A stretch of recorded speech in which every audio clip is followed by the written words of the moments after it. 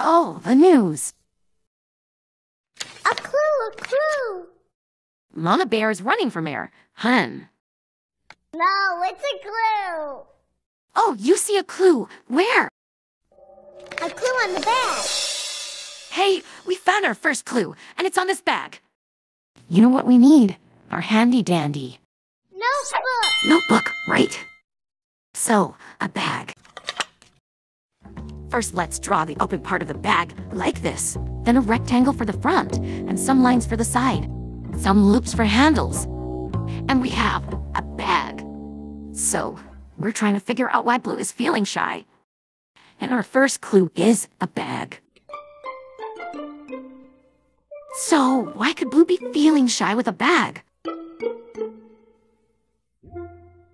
Maybe, maybe we should find more clues.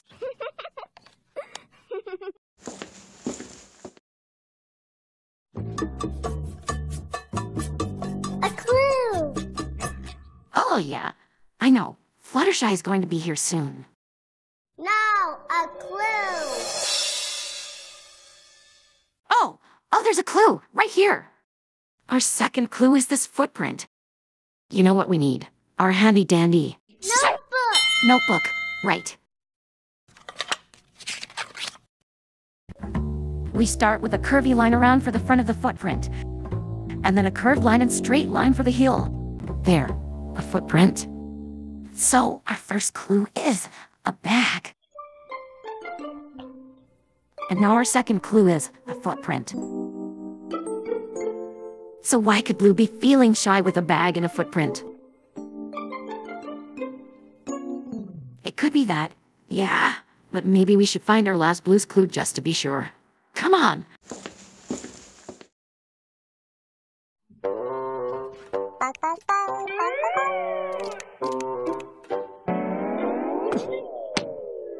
clue. What? You're feeling shy now too? Behind you. But it's just me, Sunset Shimmer.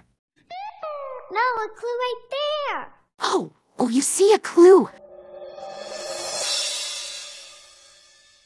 Oh, this videotape is our third clue. We better write it down in our handy dandy Notebook. notebook, right? Okay. First, we draw a rectangle, then a line across, and then a smaller rectangle inside, and a line that curves around like this, and another one. There, a videotape. Hey, we have all three clues. You know what that means. We're ready to sit an hour. Thinking chair. Thinking chair. Let's go.